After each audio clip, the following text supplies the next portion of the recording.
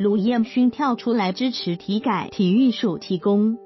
体育中心综合报道，近来协会改选引发许多争议，体育署长林德福还因此遭体坛内部抗议。台湾网坛一哥卢彦勋今天跳出来支持体育改革，并强调不担心卷入政治的蓝绿之争，只要谁能够让体育环境越来越好，这不是蓝绿黑白的问题，这是大家都要一起努力，让环境更好。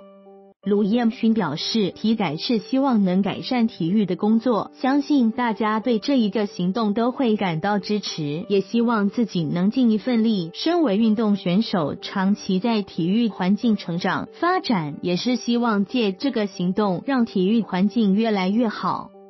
卢彦勋指出，各个协会都有利有弊，都有做好做不好的地方。特别对运动员来讲，希望能够建立一个更完善的制度。很多运动员碰到一些问题，现阶段有些事情没办法解决，也不是说透过这个东西就可以完全解决，只是说这个行动是让整个体育界有一个更好注入新活力的动作。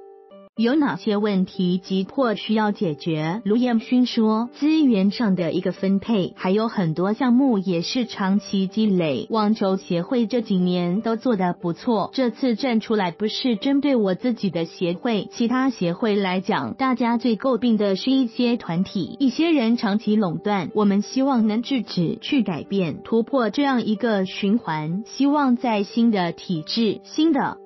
系统下能够让体育发展越来越好，让全民更有机会、更有平台去参与。以前参与体育就是在电视机前看看，替选手加油。这次就是可以真正亲身、真正加入到协会去了解运动，把自己想法、力量注入到协会去。至于会不会被牵扯到蓝绿政治议题，卢彦勋不担心。对我而言，蓝绿都一样，只要谁能让体育环境越来越好，这是大家都要一起努力做的。署长有这样一个动作，在精神上、行动上，我可以支持。当然，谁也有更好的构想、更好的方式，让整个体育界、体育环境变好，大家都乐观其成，每一个民众都会非常开心。